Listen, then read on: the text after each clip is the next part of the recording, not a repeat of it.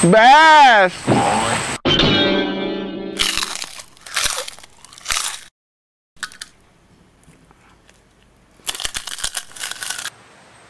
Basket. Alamak, dah habis aku pupuk ni. Apalah kau ni makan seorang. Ha, kejap kejap. Ada lagi dalam beg ni. Okay. Nah, untuk kau tu. Nah, ambil kau tu. Ha macam ni lah kawan. Kopok mahkota memang best.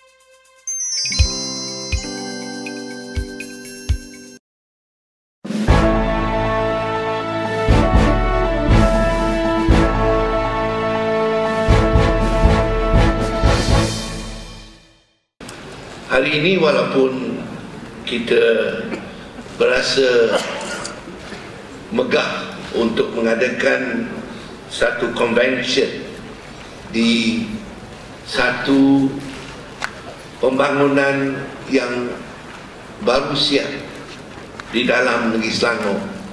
Nampaknya dia terboleh membekalkan uh, untuk apa-apa persidangan di antara bangsa bukanlah tujuan saya untuk mengiklankan City Steel City Convention.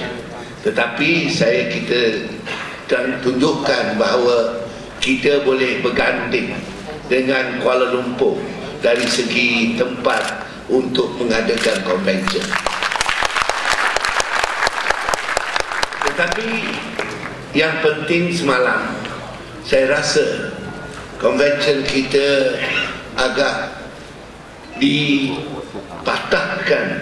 dengan keputusan mahkamah yang mengatakan Datuk Seri Anwar Ibrahim bersalah dari segi uh, keputusan yang telah tidak dikira tidak di tidak dibuang kes pada di mahkamah tinggi dan hari semalam di mahkamah rayuan mahkamah bukan saja membu- membuat satu keputusan yang mengejutkan pada saya yang menjijikkan dan terus mengenakan uh, hukuman uh, penjara lima tahun. Saudara-saudara Pakatan Rakyat memperjuangkan keadilan. Pakatan Rakyat memperjuangkan hak. Pakatan Rakyat memperjuangkan bahawa demokrasi ini mesti berlaku kerana itulah yang menyebabkan kita ada di sini. Jadi saya ingatkan saudara-saudari di bawah keadaan yang ini marilah kita bersama-sama bersatu untuk memperjuangkan keadilan dan marilah kita bersama-sama bersatu untuk memperjuangkan hak pemimpin kita saudara Anwar Ibrahim supaya dia tidak lagi dipergunakan oleh UMNO dan Barisan Nasional untuk menyekat kita mara ke Putrajaya.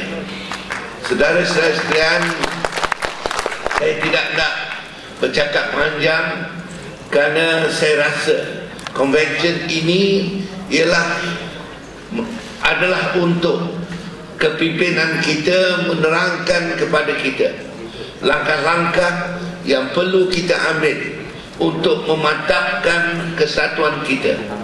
Perjuangan kita sangat banyak lagi.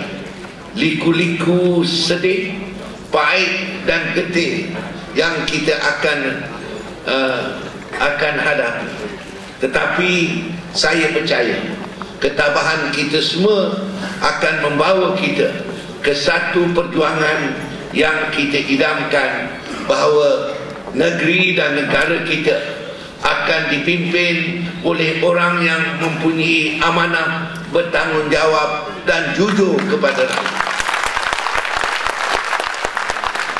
Hari kali saya bagi pihak kerajaan negeri Selangor sangat megah kerana lagi sekali Selangor dipilih untuk dijadikan tempat berkonvention. Jadi saya berharap kemudahan-kemudahan ini akan dapat memberikan makna untuk kita dan kerajaan negeri Selangor percaya akan mempelajari kelemahan dan juga kebaikan. Supaya apabila kita mentadbir kita akan belajar daripada pentadbiran tersebut dan terus menentukan bahawa pentadbiran yang telus pentadbiran yang bertanggungjawab pentadbiran yang amanah yang akan menentukan kejayaan kita negeri kita dan negara kita